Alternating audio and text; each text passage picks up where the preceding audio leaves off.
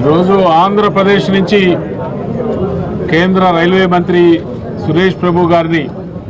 రాజ్యసభకు నామినేట్ చేయడంలో సహకరించినటువంటి ఆంధ్రప్రదేశ్ ముఖ్యమంత్రి చంద్రబాబు నాయుడు గారికి భారతీయ జనతా పార్టీ తరఫున ధన్యవాదాలు తెలియజేస్తున్నారు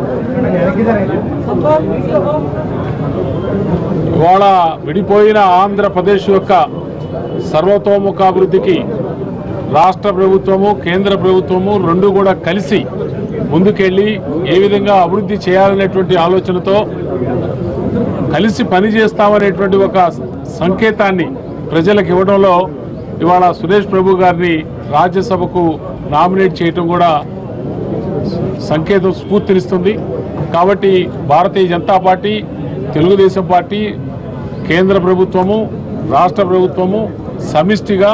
ఆంధ్రప్రదేశ్ యొక్క అన్ని ప్రయోజనాల కోసం పోరాడుతుంది ప్రయత్నం చేస్తుంది వారి అభివృద్ధి కృషి చేస్తుంది.